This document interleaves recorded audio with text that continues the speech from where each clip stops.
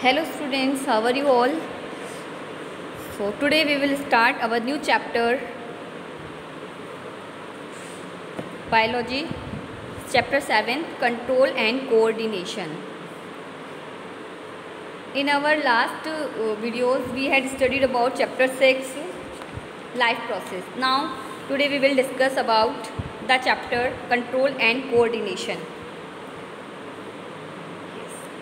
This is on page number 114 so, in our previous chapter, we looked at life process involve in maintenance function in our living organism. हमने देखा हमारे previous chapter में कि किस तरह से जो लाइफ प्रोसेस होती हैं, वो हमारी जितनी भी लिविंग ऑर्गेनिज्म होती हैं, उनको किस तरह से उनका मेंटेनेंस करती हैं, किस तरह से उनके सारे फ़ंक्शंस होते हैं। तो सारे सारे फ़ंक्शंस कौन करते हैं? लाइफ प्रोसेस करती हैं लाइफ प्रोसेसिंग के थ्रू होते हैं। There we had started with a nation, we all have that if we see something moving, it's, it is alive. हम देखते हैं, कोई भी चीज़ मूव करती है तो वो जीवित है। बट हम इसको किस तरह से पता लगा सकते हैं? हम देखते हैं प्लांट्स हैं प्लांट्स में क्या होता है? ग्रोथ होती है। ग्रोथ होती है इट्स मीन क्या है? वो लाइव है। मतलब मूवमेंट हो रहा है, कोई ना कोई मूवमेंट हो रहा है, किसी को, किसी भी चीज़ में कोई मूवमेंट होता है तो हम उसे लाइव मान लेते हैं कि हाँ वो जीवित है। कोई भी सीड है, वो जर्मिनेट होता है ग्रो करता है, उसमें सीडलिंग निकलता है तो क्या होता है, कुछ दिन बाद वो थोड़ा सा बड़ा होता है सॉइल के अंदर से, बाहर आता है। अब ये ग्रोथ है, वो रुकती नहीं है, ठीक है ना? रुकती नहीं है और ये होती रहती बट इससे क्या हो रहा है, हम एक मूवमेंट दिखा रहे हैं कि हाँ मूव कर रहा है, यानी कि लाइव है। बट एनिमल्स देखते हैं, हम एनिमल्स के अंदर कैट है चिल्ड्रंस हैं, क्या कैट भागती है फेलो है, वो चिंग कर रही है कोई भी चीज़, इसका मतलब क्या है? There no movement causes by growth ये कोई मूवमेंट ऐसे नहीं है जो ग्रोथ से रिलेटेड है। ये सारे मूवमेंट्स क्या हैं? बिल्कुल अलग है ग्रोथ से। Why do we associate such visible movement with life a possible answer is that we think of movement as a response to change in environment of the organism देखो, हम देखते हैं कि मूवमेंट क्या होता है। मूवमेंट होता है हमारा कोई भी रिस्पॉन्स करना, कोई भी इन्वायरमेंट है हमारा जो इन्वायरमेंट है, हमारा, हमारे चारों तरफ़ जो भी इन्वायरमेंट होता है, उसके लिए हम जो भी रिस्पॉन्स करते हैं, किसी भी चीज़ के लिए रिस्पॉन्स करते हैं लाइक बहुत तेज़ ठंड है, ठंड के अंदर हम क्या रिस्पॉन्स करते हैं?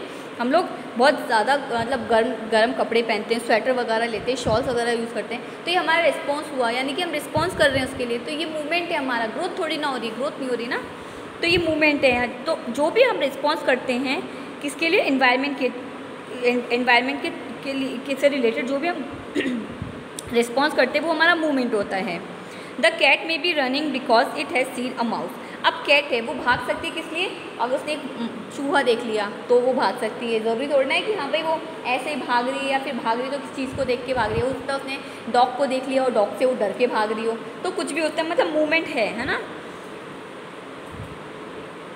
तो जो भी जो भी लिविंग ऑर्गेनिज्म होते हैं, वो क्या करते हैं अपने एनवायरनमेंट के लिए एनवायरनमेंट के मतलब एनवायरनमेंट की तरफ़ से क्या रिस्पॉन्स दिखाते हैं और मूवमेंट दिखाते हैं। प्लांट ग्रो करता है कि सिर्फ़ और सिर्फ़ सनशाइन में, यानी कि जो लाइट होती है, उसकी तरफ़ ही ग्रो करता है प्लांट होता है वो।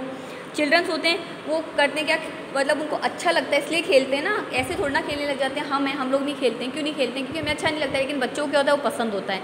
तो मतलब हर चीज़, कुछ ना कुछ मूवमेंट हो रहा है, कुछ ना कुछ तो इन्वायरमेंट को देख के जो भी मूवमेंट होते हैं, वो सारे के सारे किसमें आते हैं, ये हम लोग पढ़ रहे हैं कि मूवमेंट क्या होता है मतलब ग्रोथ से रिलेटेड नहीं होता, लेकिन मूवमेंट होता है। अब अब हम कुछ चीज़ देखते हैं, जैसे हम कोई ब्राइट लाइट में कोई भी बहुत तेज़ लाइट आ रही है हमारे मुँह पे, है ना? एकदम से हमारी आइज़ ने क्या किया? एकदम से रिस्पॉन्स किया ना आइज़ ने एकदम से आइज़ अपनी बंद हो जाती है। तो क्या ये मूवमेंट होता है? आइज़ का बंद होना, कोई भी हॉट चीज़ है, उसको हम टच करते हैं एकदम से हम टच करते हैं हमारा रिस्पॉन्स क्या होता है, उसको हाथ को हटा लेते हैं। तो ये सब कैसे होता है? ये सब हमारा कंट्रोल किससे हो रहा है? ये सारा की सारा कंट्रोल हमारा नर्वस सिस्टम करता है। नर्वस सिस्टम से हमारा सारा कुछ कंट्रोल हो रहा है। मतलब कि जितने मूवमेंट हम कर रहे हैं, जो भी चीज़ें हमारे साथ में हो रही है, वो कोई ना कोई किसी ना किसी कंट्रोल हो रही है। ठीक है ना? तो ये कंट्रोल कौन करता है? हमारा नर्वस सिस्टम करता है। अब जो कंट्रोल करने का काम है और कोऑर्डिनेशन यानी कंट्रोल और कोऑर्डिनेशन कौन करता है? हमारा नर्वस सिस्टम और नर्वस सिस्टम किससे कंट्रोल होता है? ब्रेन से।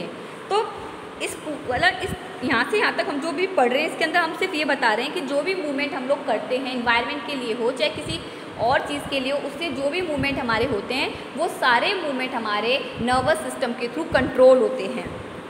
और इनको कोऑर्डिनेट किससे होता है? ये ब्रेन ब्रेन इनको कोऑर्डिनेट करता है, ठीक है? If we think a bit more about this, it become apparent that all this movement in response to the environment is carefully controlled. यानी कि जितने भी मूवमेंट हमारे हो रहे हैं वो किसी ना किसी चीज़ से कंट्रोल हो रहे हैं। कुछ ना कुछ ऐसी चीज़ें जो इनको कंट्रोल कर रही है।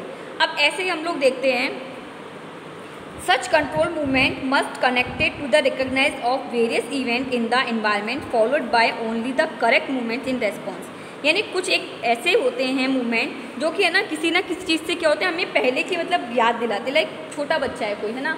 वो किसी भी चीज़, गर्म चीज़, ठंडा चीज़, उसे पता नहीं है ना तो टच कर लेता है। अब वो फ़र्स्ट टाइम टच करेगा तो उसे पता लग जाएगा रिकॉग्नाइज कर लेगा वो कि हाँ ये चीज़ गर्म होती है, गर्म करने पे, गर्म चीज़ पे हाथ लगाने से क्या होता है, हाथ जल जाता है। तो यानी उसने फ़र्स्ट टाइम में सीखा, लेकिन अब जो भी हो रहा है, वो आराम से कंट्रोल कर लेगा। क्यों? क्योंकि उसके ना मतलब उस उस टाइम तक उसे पता नहीं था।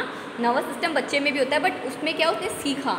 अब जो भी है ब्रेन को पता लग गया कि हाँ ऐसी गर्म चीज़ को हाथ लगाने से वो जल जाएगा या फिर कुछ भी प्रॉब्लम हो सकती है तो आगे से क्या होगा, वो बच्चा उसे छुएगा नहीं। तो ये सारा कंट्रोल हो रहा है कोऑर्डिनेट हो रहा है ना? तो ये सारी एक्टिविटीज़ क्या होती है, कुछ स्पेशल टिश्यूज़ होते हैं। In keeping with the general principle of body organisation in multi cellular specialise tissues are use to provide these control and coordination activities तो इनके लिए क्या होते हैं, कुछ टिश्यूज़ होते हैं स्पेशल टिश्यू होते हैं, जो कि कंट्रोल और कोऑर्डिनेशन की एक्टिविटीज़ को क्या करते हैं कंप्लीट करते हैं। ना seven point one animals nervous system हम देखते हैं नर्वस सिस्टम क्या होता है एनिमल्स में। In animals such control and coordination are provide by nervous and muscular tissues which we have studied in eleventh अब हमने देखा एलेवेंथ क्लास में भी हम सॉरी नाइन्थ क्लास में हम लोगों ने पढ़ा है। कि नर्वस सिस्टम जो भी हमने मतलब मस्कुलर टिश्यूज़ पढ़े हैं नर्वस सिस्टम भी नर्वस सिस्टम भी पढ़ा है हमने मतलब नर्वस सिस्टम नहीं पढ़ा लेकिन न्यूरॉन्स पढ़े हैं हम लोगों ने। सारे के सारे क्या होते हैं कंट्रोल और कोऑर्डिनेशन का काम करते हैं ठीक है? Touching a hot object in an urgent and dangerous situation for us we needed to detect it and response it do it अब देखेंगे हम हमारे क्या होते हैं ये, ये देखेंगे हम ये क्या है एक न्यूरॉन है ठीक है? स्ट्रक्चर ऑफ़ न्यूरॉन है। अब हम देखते हैं कि हमारी जो पूरी बॉडी है, उनके अंदर ऐसे जो न्यूरॉन से एक न्यूरॉन दूसरे न्यूरॉन से कनेक्टेड होता है। यानी ये तो सिर्फ़ एक न्यूरॉन है। अब इसके जो लास्ट एंडिंग पार्ट है, वहाँ पर क्या होगा? एक नेक्स्ट न्यूरॉन है ना, वो भी ऐसे अटैच रहता है। तो इस तरह से एक न्यूरॉन से ऐसे बनी बनी एक बहुत से लंबी सी चेन बनती रहती बनती रहती है और ये न्यूरॉन्स ऐसे एक दूसरे से क्या होते हैं? जुड़े रहते हैं ना। तो क्या होता है? कोई भी चीज़ यानी कुछ भी रिस्पॉन्स हुआ, कोई भी चीज़ है, उसके लिए हम कुछ भी रिस्पॉन्स करते हैं तो क्या होते हैं, हमारे जो नर्वस सिस्टम होता है, हमारे जो न्यूरॉन्स होते हैं, वो एक मैसेज को दूसरे न्यूरॉन तक पहुँचाते हैं, फिर दूसरा न्यूरॉन होता है, वो तीसरे न्यूरॉन के पास मैसेज पहुँचाते हैं। तो इस तरह से जो भी मैसेजेस होते हैं, वो सीधे ब्रेन के ऊपर ब्रेन के पास चल जाते हैं और ब्रेन हमारा क्या करता है कोऑर्डिनेट करता है, हमें मतलब मैसेज देता है कि हमें क्या करना है, क्या नहीं करना। तो जब भी कोई हम चीज़, कोई हॉट चीज़ होती है, कोई गर्म चीज़ होती है, उसको क्या करते हैं टच करते हैं। अचानक हम फटाफट से बिना सोचे समझे हाथ उठा लेते हैं, जल्दी से एकदम। कितनी जल्दी रिस्पॉन्स हो रहा है, कितनी जल्दी हो रहा है ये सब कुछ। All information from our environment is detected by specialise tip of some nerve cells यानी कि जितनी भी ये इन्वायरमेंट के लिए जितनी भी जितनी भी इंफॉर्मेशन वो सारी डिटेक्टेड है। मतलब सब कुछ पता है स्पेशल टिप नर्व सेल्स होते हैं स्पेशलाइज नर्व सेल्स है ना, इन सबको, इनको सब कुछ पता है कि हाँ भाई, क्या चीज़ है, क्या नहीं है। मतलब हर चीज़ डिटेक्ट कर रखी इन्होंने, है ना?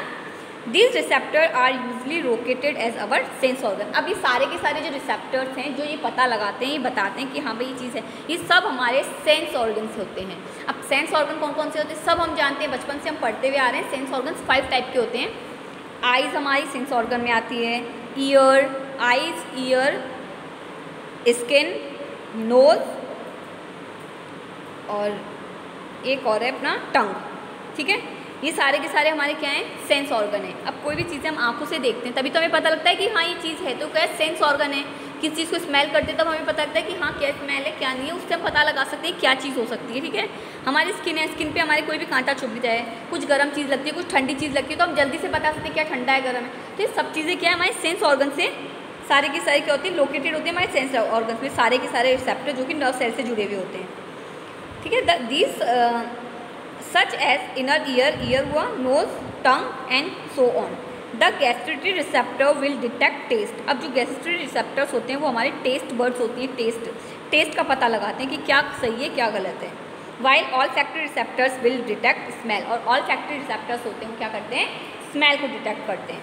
अब, जो भी इंफॉर्मेशन होती है, वो क्या होते हैं?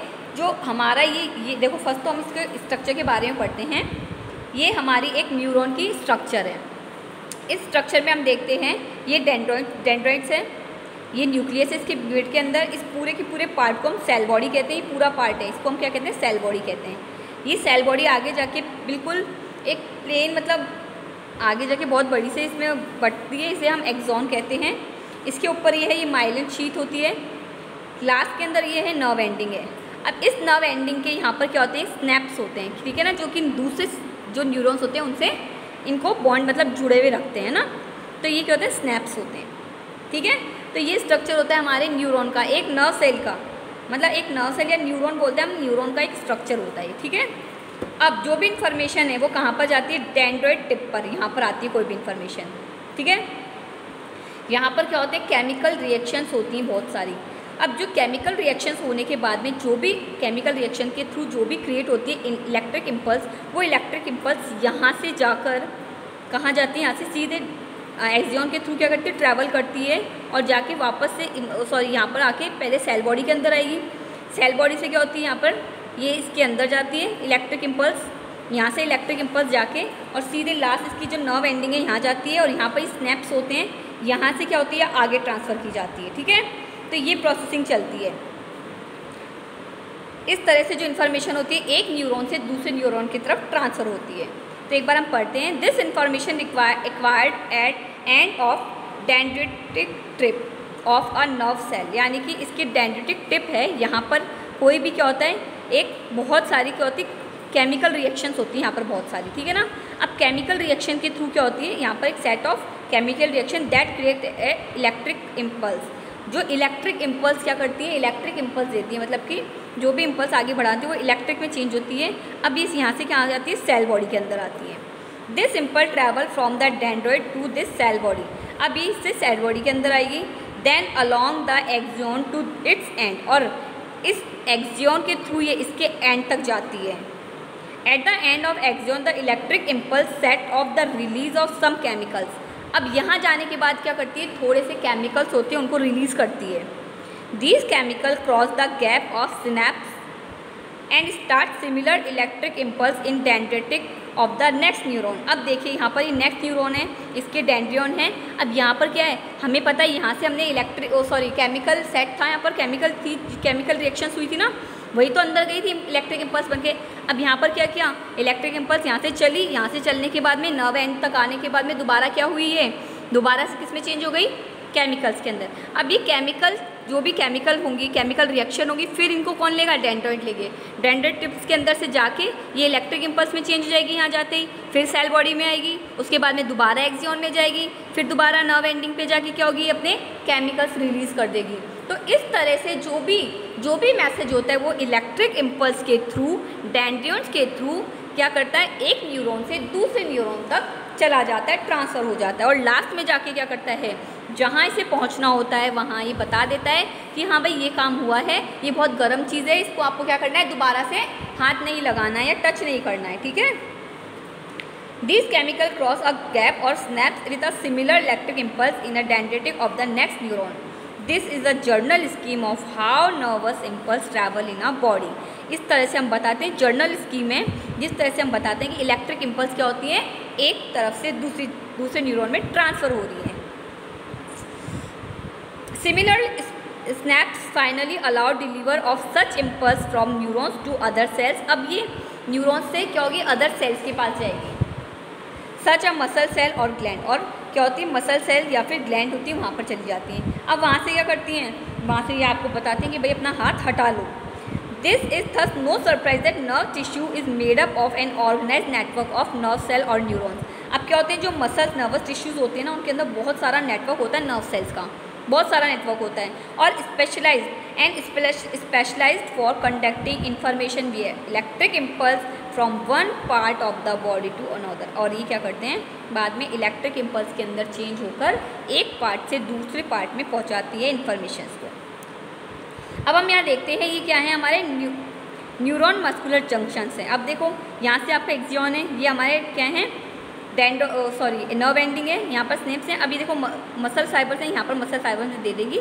सारी सारी इन्फॉर्मेशन दे दी। ये देखो न्यूरॉन मसल जंक्शन है, यहाँ पर इन्होंने दे दिए। यहाँ पर अपने जो भी माइट्रोकॉन्ड्रिया को जो भी इन्फॉर्मेशन देनी थी वो दे दी। यहाँ पर सारी सारी क्या किया इन्होंने? अपना केमिकल था, वो केमिकल छोड़ दिया केमिकल डाल दिया, उसको बता दिया कि हाँ भाई, यहाँ पर क्या होने वाला है? हमको इस चीज़, यहाँ से हाथ हटाना है या नहीं हटाना है? जो भी इन्फॉर्मेशन देनी होती है, वो इन्फॉर्मेशन दे दी जाती है।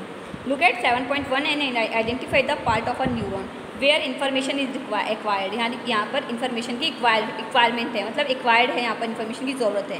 सेकंड में बता रहा है through which information travel as electric impulse और क्या कर रहे हैं? इलेक्ट्रिक इम्पल्स में। इसके अंदर तो बता दिया सारा सारा कैसे जा रही ट्रांसफ़र हो रही, कैसे ट्रैवल कर रही। है सेकंड में क्या बता रहा है? इलेक्ट्रिक इम्पल्स कैसे दी जा रही है, ठीक है ना? थर्ड में where this impulse must be converted into chemical signal onward transmission यानी कि ये केमिकल सिग्नल में देखो केमिकल्स के अंदर चेंज हो रही है केमिकल सिग्नल्स के अंदर और आगे ट्रांसफ़र ट्रांसमिशन हो जाती है, ठीक है? तो इस तरह से हमारी जो नर्वस सिस्टम है, वो इस तरह से क्या करता है मैसेज पहुंचाता है कि कैसे जाना है, कैसे नहीं जाना है। एक बार हम शॉर्ट में और देख लेते हैं, थोड़ा सा आपको अगर प्रॉब्लम हो तो एक बार हम और हल्का समझ लेते देखिए, ये क्या है, हमारा न्यूरॉन है। कोई भी, यहाँ पर क्या होता है, जो भी केमिकल सेट ऑफ़ मतलब केमिकल रिएक्शंस होती हैं, अगर सोचो हमने किसी चीज़ के हाथ लगा लिया, ठीक है, वही गर्म चीज़ तो फटाफट से इन्फॉर्मेशन आएगी।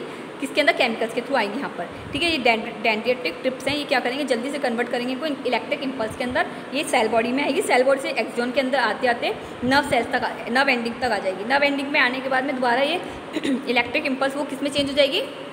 केमिकल्स केमिकल्स में। केमिकल रिलीज़ कर देगी, यहाँ पर क्या होगा, वापस से दूसरा न्यूरॉन बैठा है हमारा, उसके डेंड्रियॉन्स हैं, वो क्या करेंगे, इसको केमिकल्स को किसमें चेंज कर देंगे इलेक्ट्रिक इम्पल्स के अंदर। इलेक्ट्रिक इम्पल्स में चेंज होने के बाद में दोबारा क्या होगी, यहाँ से यहाँ तक ट्रैवल करेगी तो इस तरह से एक न्यूरॉन से दूसरे न्यूरॉन पर क्या होता है ट्रांसफ़र होता जाता है मैसेज जो भी मैसेज जाना होता है, ठीक है?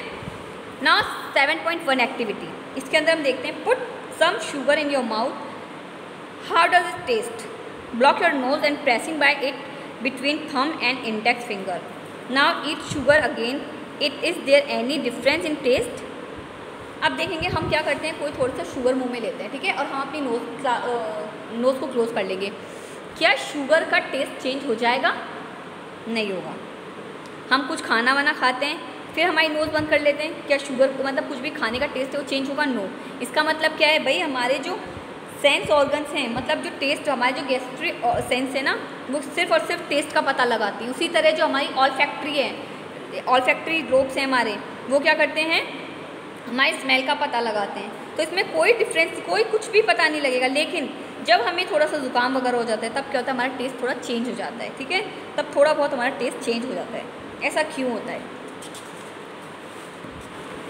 अब हम देखते हैं लिफ्लेक्स आग के बारे में। चलो, आज हम इतना ही पढ़ते हैं। नेक्स्ट रिफ्लेक्स आर्क हम थोड़ा कल नेक्स्ट वीडियो में देखेंगे। तो आज हमने पेज नंबर 114 एंड 115 पर पढ़ा है कि कंट्रोल और कोऑर्डिनेशन कैसे होता है, कैसे कैसे मतलब हमारी जो नर्वस सिस्टम है, वो किस तरह से कंट्रोल करता है हमारी बॉडी को और जो भी हमारे फ़ंक्शंस होते हैं बॉडी के उनको कंट्रोल करता है और कैसे कोऑर्डिनेट होता है मतलब इन लोगों के बीच में।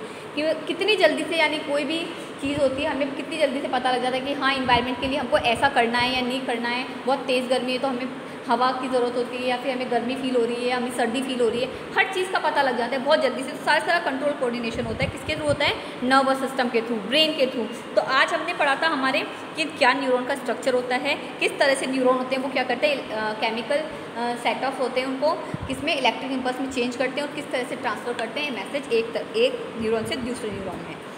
तो आज के लिए इतना ही। आई होप आपको वीडियो पसंद आया होगा और प्लीज़ आप लोग सब इसे पढ़ें और अपने खुद के नोट्स बनाएँ। Thank you so much